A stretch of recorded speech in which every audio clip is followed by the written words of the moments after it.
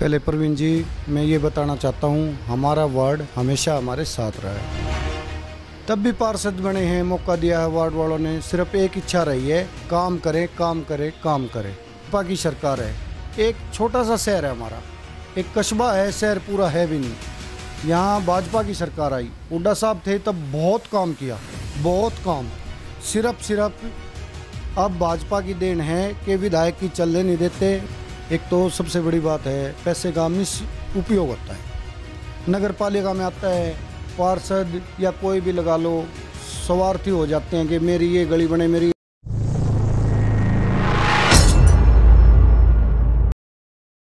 नमस्कार, आप सबकी खबर टीवी देख रहे हैं। मैं प्रवीण अलावत हूँ। आप सभी जानते हैं, चाहे पार्षद का चुनाव हो, चाहे चेयरमैन का चुनाव हो, उसका पारा पूरी तरीके से हाई हो चुका है। वैसे ही गर्मी काफ़ी ज़्यादा पड़ रही है, लेकिन जैसे ही चुनावी दंगल की शुरुआत हो चुकी है, वो पारा है, वो और भी ऊपर चला गया हमारे साथ वार्ड नंबर चार से बेहद ही मज़बूत माने जाते हैं शीशपाल उर्फ़ से जो किसी पहचान के मोहताज नहीं है। हमेशा से सामाजिक सरोकार के काम में आगे रहते हैं, चाहे वार्ड की जन समस्याओं की बात हो, ना केवल वार्ड की बल्कि पूरी जज्जर विधानसभा की बात कर लें किसी अन्य सामाजिक काम हो, गरीब जनता की आवाज़ उठानी हो तो शिषपाल भाई है, वो हमेशा ही आगे रहते हैं।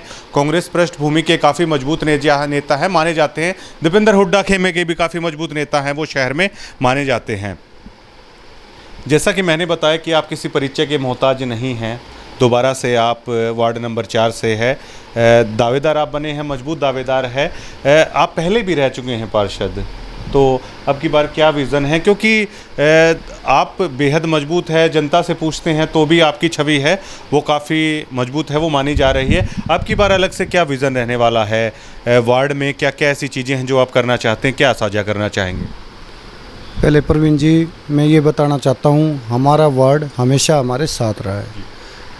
तब भी पार्षद बने हैं, मौका दिया है वार्ड वालों ने। सिर्फ़ एक इच्छा रही है, काम करें काम करें काम करें। बीच में दो तीन पार्षद भाई और आए, उतना काम नहीं करवा पाए जो लोगों के मन में बैठ सके। टाइम नहीं दे पाए वो। किस वजह से नहीं दे पाए, हमें नहीं पता। लेकिन तब भी वार्ड वाले मेरे पास आते हैं, चाहे मैं बनाऊँ, चाहे वो मेरे पर विश्वास करते हैं, मैं उनके साथ रहता हूँ। उसके बावजूद सबसे बड़ा हमारे वार्ड के अंदर जो प्रॉब्लम है, एक तो सीवर की। पानी की जगह जगह गंदा पानी आ रहा है, उनको उनका समाधान करेंगे। जैसे हमारी नीम वाली हुई, हमारा, हमारी देव कॉलोनी हुई, जैन कॉलोनी हुई, सबसे बुरा हाल है वहाँ। कुछ गलियाँ भी मैंने बनवाई थी साल भर पहले दस बारह गलियाँ थी वो हल्की फुल्की, बड़ी, छोटी सब मिला के। वार्ड वाले आए थे, उन्होंने कहा था भैया हम बड़े परेशान हैं, जितना मेरे से हो सका। उतनी मैंने कोशिश करके, अफसरों के हाथ पैर जोड़ के, भाईचारे से करके, वो काम किया। अब जो देव कॉलोनी है, जो भी पार्षद बनते हैं या कुछ कर रहे हैं, वहाँ कुछ करवा नहीं पाए। वहाँ हम भी जाते हैं तो हमें भी शर्म आती है कि भाई इतना बुरा हाल, उनसे वोट भी मांगने जाते हैं। वो बड़ी इच्छा की नज़र से देखते हैं हमारी तरफ़ कि भैया हमारे काम करवाएँगे। लेकिन फिर भी वो लोग काम क्यों नहीं करवा पाए? बजट भी बहुत आया, पैसा भी बहुत था कमेटी में, क्यों नहीं करवा पाए? वो तो वो जानते हैं। लेकिन सबसे पहले देव कॉलोनी, नीमवाड़ी और जय हिंद कॉलोनी। इनमें बिजली पानी लाइट गली सब मैं करवाने का वादा कर चुका हूँ और मैं करवाऊँगा। आशीर्वाद रहे चाहे ना रहे तब भी वो वादा करके आया काम ज़रूर करवाऊँगा। ये तो कहने वाली बात हो गई रहे ना रहे। हाँ हाँ। है या नहीं आशीर्वाद? आशीर्वाद फुल। पूरा। समर्थन। अच्छा शिषपाल भाई आपको केवल एक वार्ड की राजनीति से बाँध के हम नहीं देख सकते क्योंकि आप कांग्रेस के बड़े जाने माने चेहरे यहाँ से हैं। समस्याएँ ना केवल आपके वार्ड की बल्कि पूरे जज्जर शहर की भी अधिकतर समस्याएँ रही हैं। तो आपसे हम वार्ड से हटके भी पूछ सकते हैं। जो जज्जर शहर की ये खामियाँ मानते हैं, अधिकतर कॉलोनियों में ये समस्याएँ हैं तो किसे जिम्मेदार आप ठहराएँगे? भाजपा को जिम्मेदार ठहराएँगे या? क्योंकि विधायक तो कई सालों से यहाँ पर कांग्रेस पार्टी से गीता बुक्कली बन रही हैं तो ये दिक्कतें आखिरकार क्यों आ रही हैं? पिछले आठ साल से भाजपा की सरकार है, क्या मानते हैं आप? भाजपा की सरकार है। एक छोटा सा शहर है हमारा। एक कस्बा है, शहर पूरा है भी नहीं। यहाँ भाजपा की सरकार आई। हुड्डा साहब थे तब बहुत काम किया, बहुत काम। सिर्फ़ सिर्फ़ अब भाजपा की देन है कि विधायक की चलने नहीं देते, उनके कहने से काम नहीं होता।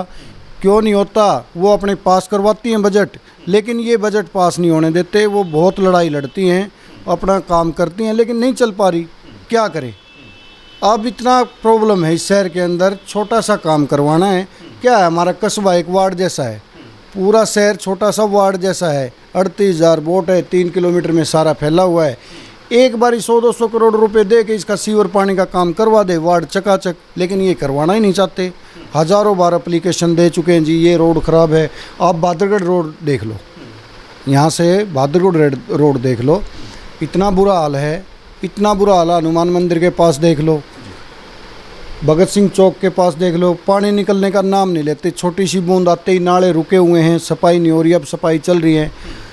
अब पता नहीं क्या हो रहा है। भाजपा सरकार फेलियर सरकार है। अधिकतर शहरों में शहरी मध्यम वर्गीय परिवार रहते हैं, जिनके छोटे छोटे सपने और छोटी छोटी समस्याएँ हैं। तो जब हम उनसे बात करते हैं प्रेस वाले उनसे पूछते हैं तो वो शहरी मध्यम वर्गीय परिवार खुल के ये बात बोलते हैं माइक पे कि हम तो मतलब टैक्स भी अपना पूरा देते हैं, जो सरकार हाउस टैक्स वगैरह लेती है, अन्य चीज़ों पर भी टैक्स देते हैं। तो आखिरकार फिर भी उनकी इन समस्याओं का समाधान आखिरकार क्यों नहीं हो पाता? क्या मेजर कारण आप मानते हैं? एक तो सबसे बड़ी बात है, पैसे का मिस उपयोग होता है। नगर पालिका में आता है, पार्षद या कोई भी लगा लो, स्वार्थी हो जाते हैं कि मेरी ये गली बने, मेरी यहाँ बोट बनेगी, ये बोट बनेगी। झज्जर शहर के अंदर गलियों में कोई प्रॉब्लम नहीं।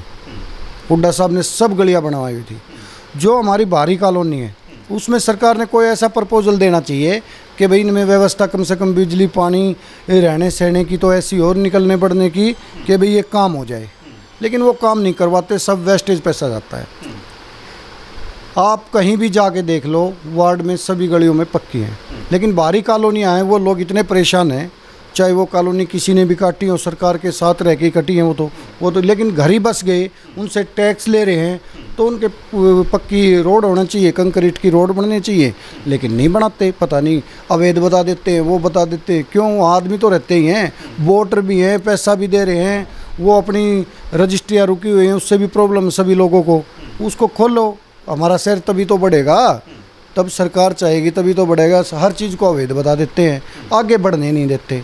सबसे गलत बात ये आप पिछले काफ़ी समय से भाजपा को लेकर काफ़ी मुखर हैं। भाजपा का लगातार आप विरोध करते रहते हैं।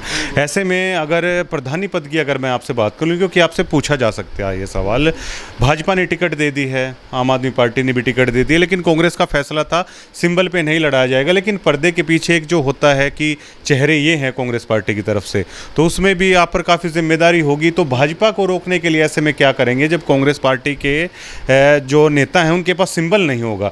इसको लेकर क्या कश्मकश चल रही है? भाजपा को कैसे रोक पाएँगे? जो हमारे भाई पार्टी के जो भी कार्यकर्ता थे जिन्होंने चेयरमैन पद के लिए अपना फार्म भरा है उसमें सबसे बड़ी बात यह है सब भाइयों की मीटिंग हुई थी कि आप फार्म भर लो।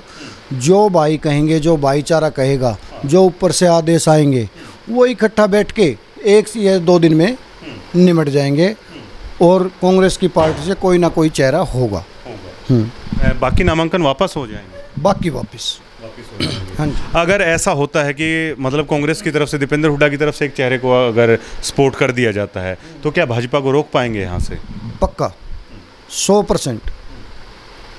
क्योंकि हुड्डा साहब की इतनी देने हैं इतना अच्छा काम किया है लोगों के दिल में बसे हुए हैं वो सिर्फ़ सिर्फ़ हुड्डा साहब को दीपेंद्र भाई को देखेंगे और चेहरे को देखेंगे कि ये अच्छा है तो आराम से रुक जाएगी कोई बड़ी बात नहीं।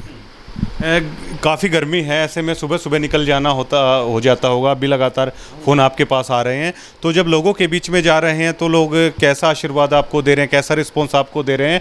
और साथ साथ दो जिम्मेवारी आपके पास है, एक तो आपका खुद का चुनाव हो गया वार्ड से, और दूसरा ये हो गया, इसके साथ साथ जो कांग्रेस की तरफ़ इशारा किया जाता है तो वो दोहरी जिम्मेवारी भी शीशपाल है, वो आपको निभानी पड़ेगी। तो कैसे निभा रहे हैं वार्ड की जिम्मेवारी तो मैं सुबह पाँच बजे उठते हैं साढ़े पाँच बजे घर से निकल जाते हैं। लोगों का आशीर्वाद मिलता है बहुत अच्छे से रिस्पॉन्स मिल रहा है। रही अपनी पार्टी की बात जो जिम्मेवारी ऊपर वाले देंगे जैसी जिम्मेवारी लगाएँगे हमें हम उनके साथ हैं। वार्ड से बाहर भी निकलना पड़ेगा फिर चुनाव प्रचार के लिए? अगर पार्टी चाहेगी तो पक्का निकलेंगे। पक्का निकलेंगे। भाजपा पूरा ज़ोर लगाए हुए है लेकिन आपकी पार्टी के विधायक हैं वो तो रायपुर गए हुए हैं। क्या उसकी कमी खलेगी अभी चुनाव में? क्योंकि भाजपा के सभी नेता यहाँ पे हैं। ओम प्रकाश धनखड़ लगातार कह रहे हैं कि कांग्रेस पार्टी तो लगभग चुनाव मैदान से जा चुकी है। विधायक हैं वो रायपुर चले गए हैं। तो क्या उस चीज़ की कमी महसूस हो रही है कि गीता बुक्कल अगर यहाँ पर होती तो और ज़्यादा प्रभाव है? आप लोग छोड़ सकते हैं। क्या महसूस हो रहा है? सर? ऐसा है जी हुड्डा साहब उनको सबको लेके गए हैं। उनकी जिम्मेवारी है। दस तारीख को इनका इलेक्शन हो जाएगा। जो भी विधायक दल के नेता मतलब सांसद सुना जाएगा उसके बाद गीता बुक्कल भी यहीं आएगी। सबको जो भी पार्टी के आदेश होंगे वो सब पूरा होगा। फ़ोन पे बातचीत चल रही है कि हाँ सबके साथ। शहर बचाना एक सबसे महत्वपूर्ण पड़ाव होगा? सबके साथ संपर्क में जी। सबके साथ। अपने दीपेंद्र भाई साहब के भी विधायक के भी सबके साथ जी। ठीक है, मेरा आखिरी सवाल है, क्या अपील करना चाहेंगे अपने वार्ड वासियों से भी और पूरे जज्जर वासियों से भी क्या अपील है आप करना चाहेंगे अपने वार्ड वासियों से और जज्जर से अपील कर रहे हैं कि भी जो भी अपने वार्ड का कोई भी, चाहे शिशुपाल मलिक हो या कोई भी हो, जो काम करने वाला बंदा हो, किसी पार्टी का हो, उसको जिताओ, जो काम करने की नीयत से वार्ड में आता है, चाहे किसी पार्टी पार्टी का कोई चुनाव नहीं होता। ये भाईचारे का होता है और काम करने का चुनाव होता है। मेरी तो सभी से ये अरदास है कि उन्हीं आदमियों को जिताओ जो आपके वार्ड का काम कर सके। उसमें ना कोई जात, ना पात, ना हिंदू, ना मुसलमान, ना कुछ भी नहीं सिर्फ़ एक मकसद होना चाहिए सभी भाइयों का कि भाई ये हमारे साथ खड़ा रहेगा और हमारे वार्ड का काम करेगा हमारे शहर का काम करेगा। अभी पूरे इंटरव्यू के दरमियान हमने महसूस किया आप चाहते हैं कि कांग्रेस के लोग जीतें। अपील में आप कह रहे हैं कि पार्टी मत देखिए कुछ भी मत देखिए जो चेहरा अच्छा हो उसको चुनिए ये कैसे चले ये ये चेहरा मैं पार्षद के लिए बोल रहा हूँ। हाँ जी पार्षद एक ऐसा कैंडिडेट होता है भाईचारे का यहाँ किसी पार्टी का कुछ नहीं होता। कांग्रेस की बड़ी बात है सिब्बल तो दिया नहीं। यहाँ आ गया भाईचारे का चुनाव। बीजेपी ने दिया है। वो हमारे ऊपर वाले डिसाइड करेंगे किसका क्या करें या नहीं करें। वो तो उनके जो भी आदेश होंगे वो तो पालना सभी वर्कर को करनी है। मुझे क्या जो भाईचारा के यहाँ वर्कर हैं जो कांग्रेस के वर्कर हैं उनको पालना करनी ही करनी है। उसके साथ तो चलेंगे लेकिन पार्षद के लिए बोल रहा हूँ मैं। पार्षद में किसी को दीजिए लेकिन चेयरमैन में कांग्रेस के लिए। कांग्रेस के लिए। बात करने की हाँ जी। ये शिषपाल थे और सही मायने में अगर इंटरव्यू का मतलब होता है कुछ नए खुलासे, कोई नई बातें निकल के आए, वो शिषपाल जी के इंटरव्यू में आपने खुद महसूस की होगी। इन्होंने एक इशारा भी किया है कि कांग्रेस पार्टी की तरफ़ से एक फैसला पहले ये लिया गया था कि सभी चेहरे अपना नामांकन ज़रूर से ज़रूर दाखिल करें और जल्द ही इस बात का भी ऐलान कर दिया जाएगा कि दीपेंद्र हुड्डा के समर्थित चेहरे हैं, आखिरकार वो कौन है और शीशपाल मलिक मानते हैं। कि कांग्रेस यहाँ से प्रधानी पद के लिए भी पटकनी देने का काम करेगी। खुद के वार्ड के बारे में भी समस्याओं को भी लेकर इन्होंने खुलकर बोला है कि चाहे देव कॉलोनी की बात हो, चाहे इनके वार्ड की, अन्य जो समस्याएँ हैं उनको लेकर शिषपाल मलिक खुलकर बोलते हैं कि इस तरह की दिक्कतें हैं। सीवर की काफ़ी दिक्कतें और उस चीज़ को महसूस करते हैं कि लोगों को क्या क्या समस्या है, उनका समाधान है, वो चाहिए, वो खुलकर बोलते हैं कि जब वो देव कॉलोनी में जाते हैं तो लोग भी हमसे उम्मीद भरी नज़रों से देखते हैं कि हमारी ये समस्या है, उसका समाधान आप करिए। शिषपाल मलिक पर दोहरी जिम्मेवारी भी आ जाती है, एक तो इनका खुद का चुनाव है और उसके साथ साथ जो चेयरमैनी का चुनाव है, जो चौधर की असली लड़ाई जज्जर शहर की है और कांग्रेस के लिए काफ़ी महत्वपूर्ण ये चीज़ है, क्योंकि शहरी वोट बैंक को अब दोबारा अपने साथ जोड़ना कांग्रेस के लिए पिछले एक दो चुनाव से बड़ी चुनौती का सबब है, वो रहा है। तो अब की बार कांग्रेस नहीं चाहती है कि भाजपा है, यहाँ से बाजी मारे। उसके लिए कांग्रेस लगातार चिंतन मंथन में लगी हुई है।